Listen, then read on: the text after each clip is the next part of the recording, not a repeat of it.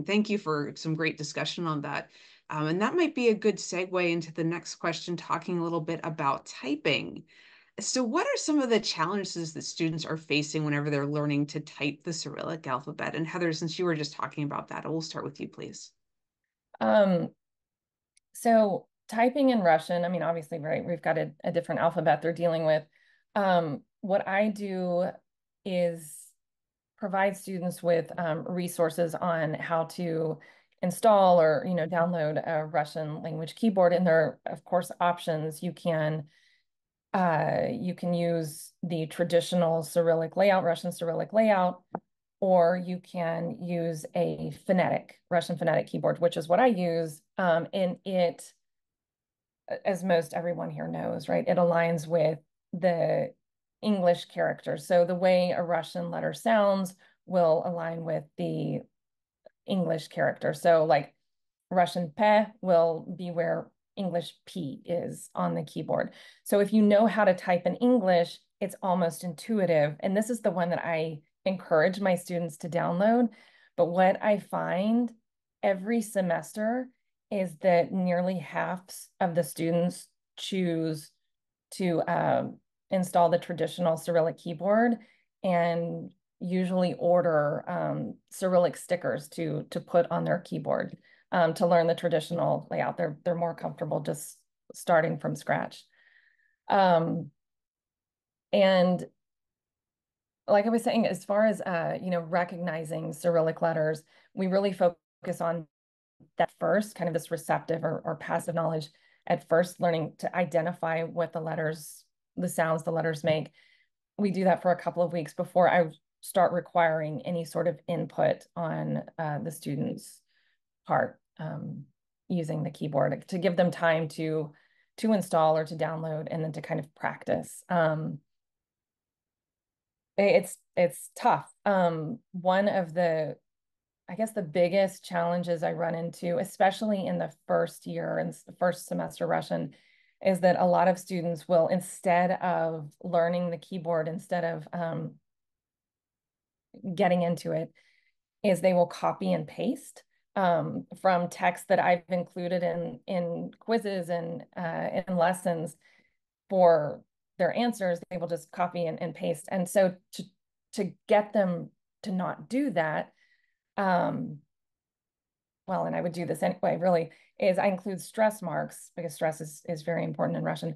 I include stress marks on all of the Russian words and in all of the text that the students see. Um, and when they copy and paste, especially into our LMS, into Canvas, um, it will include a stress mark and Canvas won't recognize the stress mark and we'll, we'll kick it out and count it wrong.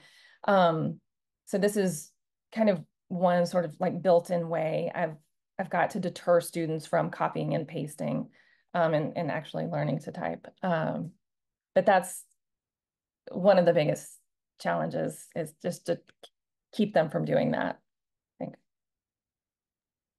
Definitely. And I can see where you would run into that quite a lot, especially for those first semester students that might be struggling enough with the language in general. And then there's that extra layer of typing. But I like how we're kind of using Canvas features to our advantage and really encouraging them to jump in and use the keyboard. Thank you.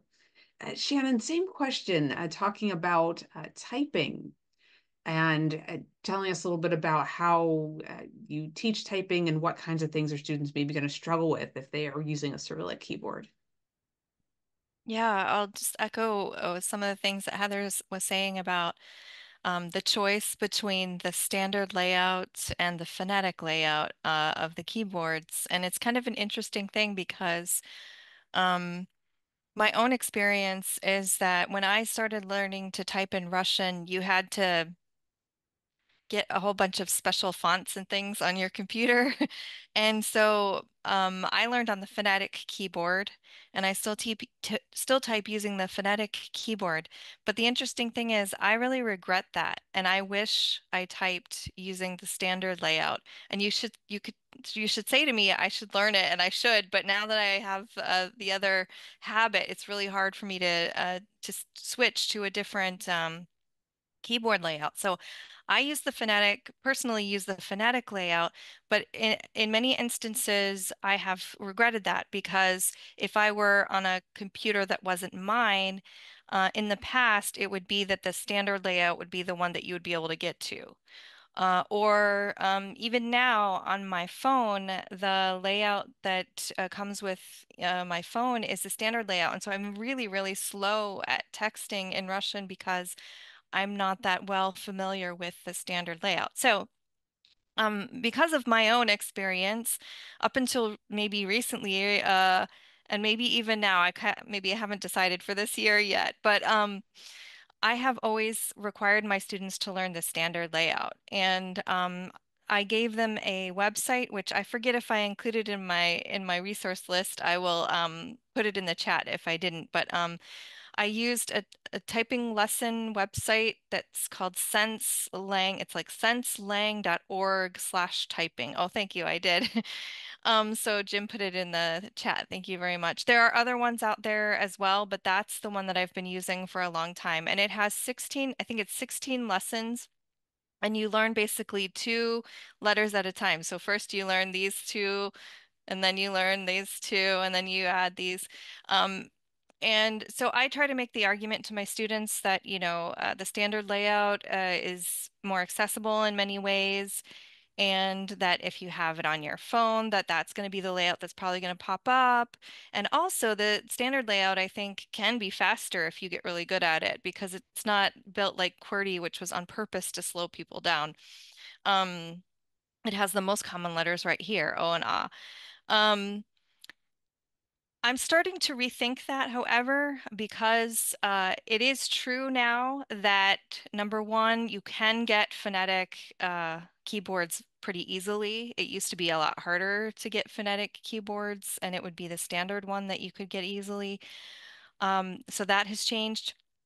And the other thing that has changed is that I think it's a lot more rare for people to use other people's devices at this point. So where it used to be that like when I would be in Russia, I would be using like a an internet cafe computer, right? And then that would make it very difficult for me to type. Um, that is changing, and so it may be that it's time for me to think about whether I don't require anymore the standard layout, but you know, still sort of make the argument to my students about why I wish I had learned the standard layout and then let them choose on their own. I'm still sort of thinking thinking about that, but that uh, standard layout is what I used to always teach them.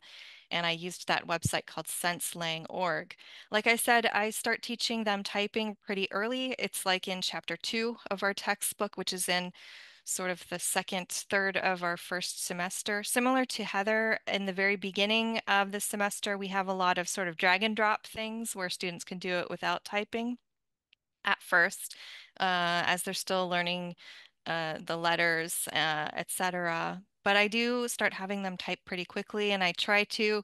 I, I have encountered some of what Heather's talking about with copying and pasting, um, and that's an interesting, uh, an interesting deterrent uh, idea for deterrent, uh, Heather. Um, but you know, I try to make the argument to them that you know you're really going to need to to do this. Um, it's going to be you know included in your tests, um, and so you know avoiding it now is just going to make it harder later. So, and I think many of them um, see the value in being able to type because that sort of opens up a whole new world for you and accessing the Russian internet, etc. Yeah, there's actually there's a great comment in the chat from Natalia uh, talking about how she learned to type English first and then learned how to type in Russian, but it was a frustrating experience. And it sounds like, and correct me if I'm wrong, Natalia, but it, it's I remember learning to type as a child, and it was something I struggled a lot with. And it's really important to kind of let students know this is the argument for using this keyboard layout versus the other and and kind of making an informed choice. And also just maybe based on what they're best able to do. If you're like me and you kind of have the struggle of, of typing and learning something might be harder then absolutely we kind of need to let the students choose i think. So lots of things to think about on that topic too. Thank you both very much I want to shift the conversation a little bit and talk a little bit more about scaffolding, and especially that uh, Russian is not a language that uses the Roman alphabet. We might often need to resort to scaffolding to make, especially those authentic materials, something that our students can really use and, and sink their teeth into.